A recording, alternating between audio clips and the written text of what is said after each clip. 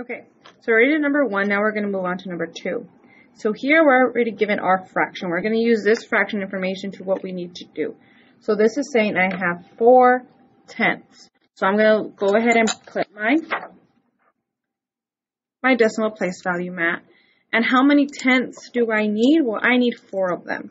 So I'm going to get my rods, which help demonstrate my tenths. And this is a 1 tenth, 2 tenth, 3 tenth, 4 tenth. Right here is a representation of my 4 tenths. So now I'm going to go ahead and I know how it looks. I am now going to use this as my guide. I have 4 tenths, so I know that this is my fraction. So I know that my numerator is the number of my my number of rods selected or colored. So how many should I color in? Four. So I'm going to go ahead and color in four.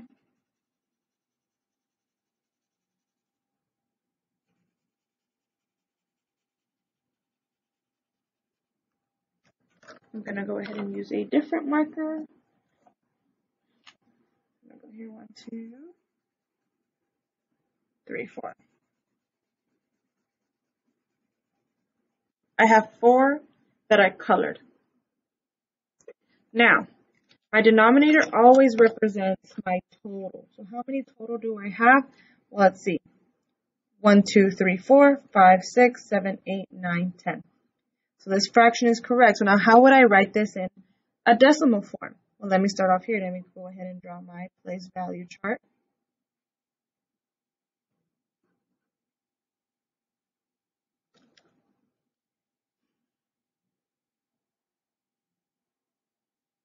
Do I have any wholes? Is this whole thing covered? No. Remember, my tenths represents my rods, and I had how many rods? Well, I have one, two, three, four rods. So I have four. And I don't have any units or any hundredths. So my decimal is, remember, I'm extending my decimal. So under my decimal, I'm putting a one and a zero, and this demonstrates that this is my tenth place. So here, now I'm going to go here. I'm going to go ahead and copy what I just did. What did I sketch? Well, I drew four rods, so I need to sketch four rods.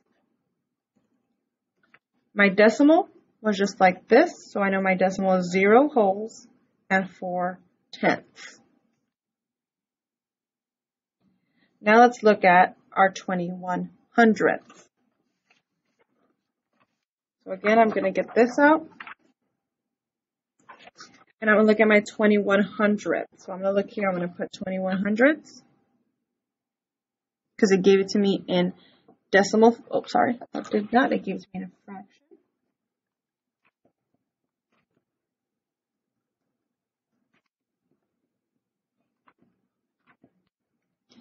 I have a fraction of 21 hundredths. So I know that I need to have how many tenths? Well, let's, let's look at that. I'm going to use units. Should I get 21 units? If I'm looking at hundreds, I know that it's units. Should I get 21 units or should I do something else that helps me out? Yeah, I should get two rods. This is one rod. This is two rods. And how many units do I need? Just one. This represents my 21 hundredths. So now, let's go back here and sketch that out. I had two rods and one unit. Now, instead of coloring it in, I'm going to use my, my grid paper.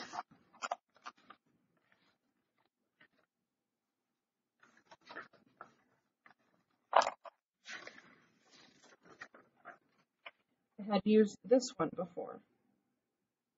So here, we do the same thing.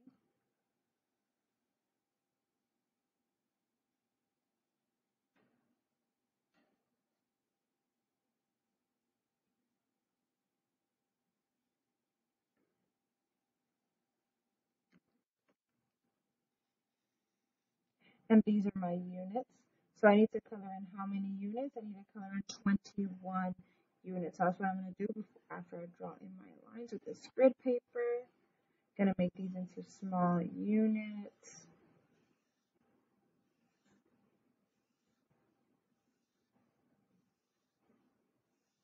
Okay, so how many did I have to color in? Well, I know I have two rods. So I'm going to go ahead and color in my two rods. One, two, and I have one unit.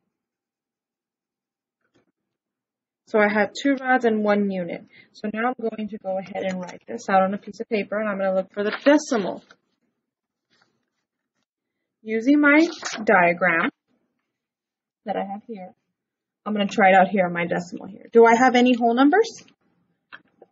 Nope. I'm drawing off my one, tenth, hundredth. I do not have any whole numbers. I only have smaller than, so I have a zero.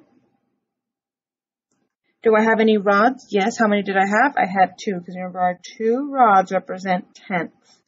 Did I have any units or hundredths? Yes, I only had one. So this right here is my one. So this is 21 hundredths. Now go ahead and do the rest on your own. So now I'm on decimal fractions 1, page 2. I'm only going to do a few of these, so I'm going to let you guys know here. Then I'm looking at number 7. I'm noticing here that these are units, while these are what? They're rods, or tenths. So let's look here. I'm going to look and change this to fraction and this to a decimal. So I'm already going to go ahead and start. Do I have any whole numbers here? Yes, I have one whole because the whole thing is shaded. What about here? How much is shaded here? Well, instead of having to count every single little one, I'm going to count rods here. This is one, two, three, four, five, six, seven. One, two, three, four, five, six, seven. This is what? 77. But this is our decimal. So now here in our fraction, we're going to use a mixed fraction. A mixed fraction, remember, has a whole number and a decimal included in it. So let's look here. Do I have a whole? Yes, I have one whole. Now, let's look just at here. How many parts are shaded? Remember, our numerator is our parts shaded or selected. How many are shaded? 77. Our denominator should be our total. How many are here in all? That's right, 100. So now I want you to think of this as money. If I were to write this as money, how would I write this down? Well, it would be one whole dollar and 77 cents. So I would have one whole, my decimal, separating my whole number from my decimal, and 77 hundredths. Now let's look at number 8. I have my tenth, so I know that it's going to end in my tenth place. So let's look here. Do I have any whole numbers? Yes. Again, even though it looks different, this has units and these has rods, the whole thing is still shaded. So this still represents one whole. How many is shaded here? That's right, only two tenths. Only two rods are shaded. So now let's write this as a fraction. Again, this is a mixed fraction. I have one whole. And I have what? Two rods shaded, because that's my numerator, the amount shaded. Out of how many? This time it's not 100. This time it's 1, 2, 3, 4, 5, 6, 7, 8, 9, 10. This time it is 10. Now I'm going to go over to my decimal. If I were to think of this again as money, I know that this I would have one whole dollar and 20 and 2 tenths. Sorry. This would be 1 and 2 tenths.